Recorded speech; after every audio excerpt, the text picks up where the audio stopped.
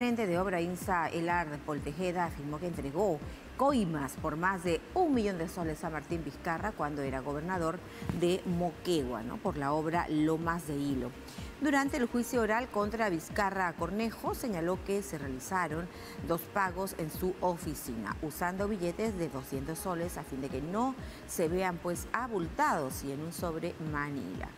El juicio oral contra el exmandatario continuará en una próxima sesión. El expresidente de la República es acusado de presuntamente haber favorecido con licitaciones a empresas mineras cuando era gobernador regional de Moquegua.